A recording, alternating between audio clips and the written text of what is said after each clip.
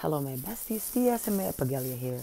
We're going to talk about China's Bible rewrite, unveiling the latest news and its possible implications. So, hi, besties. Hi, everyone. Welcome back to TSMA Vlog. And today we're going to discuss a topic that, that has been making headlines recently. So, China's alleged rewriting of the Bible. So, many of you have reached out to me concerned, okay, about the implications of this act and its connection to the end times. So, my besties, let's dive right in. There we go. And before we start, start, we already did, but follow all Matthias my family on smil.com. They're all amazing. Okay, first, let's address the latest news regarding China's Bible rewrite.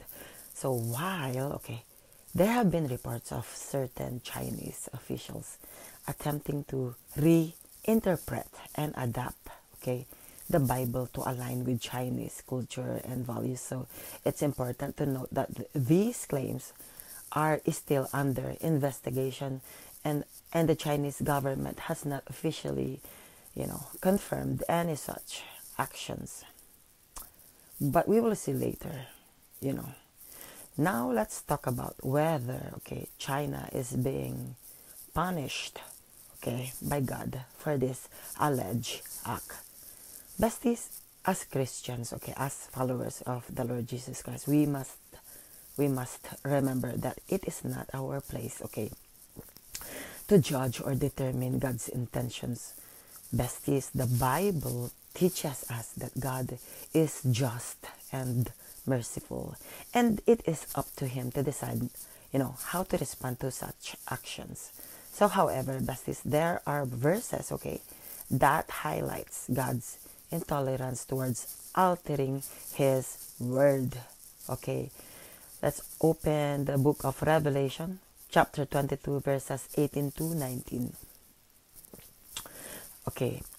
Warns, I warn everyone who hears the words of the prophecy of this book.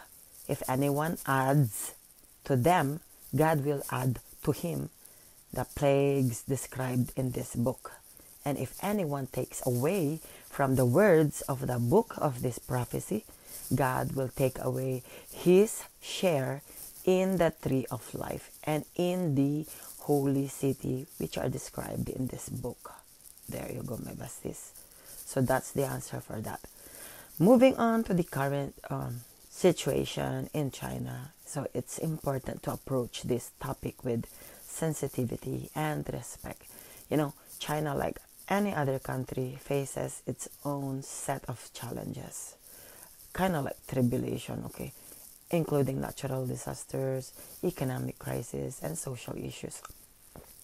However, it is not appropriate, okay, to directly link these events to the alleged Bible rewrite or the end times. Okay, we are not God, okay?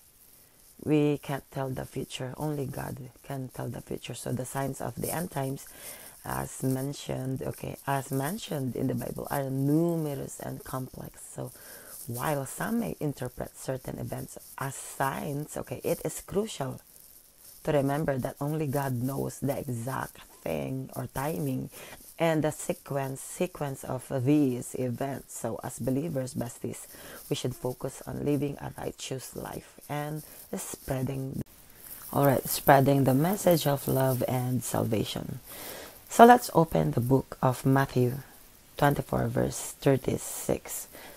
Besties, this reminds us, okay, but concerning that day and hour no one knows, not even the angels nor the Son, but the Father only. There you go.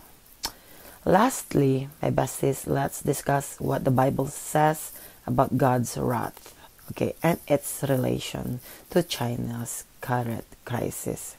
Okay, besties.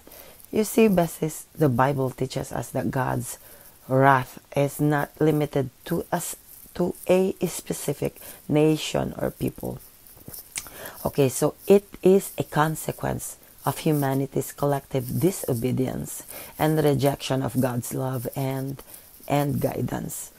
Let's open uh, the Bible on in the book of Romans 1:18. Okay, it states there that for the wrath of God is revealed from heaven against all ungodliness and unrighteousness of men, who by their unrighteousness suppress the truth.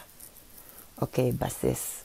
So in conclusion, while the alleged Bible rewrite, okay, in China is a matter of con- concern, we must approach it with caution and avoid making definitive claims about God's intention or connection to the end times. So let us focus on spreading love, understanding, and the message of salvation, my besties, rather than speculating on events beyond our control. All right, besties, thank you so much. Thank you, thank you all for joining me today. All right, don't forget to follow all my TSMA family on